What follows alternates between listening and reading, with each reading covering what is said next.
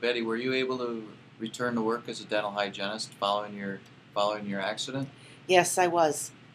Uh, in 1986, the New Medical Rehabilitation Center just opened in Waterford, and I was approved to go there, and I stayed there from June until the following April.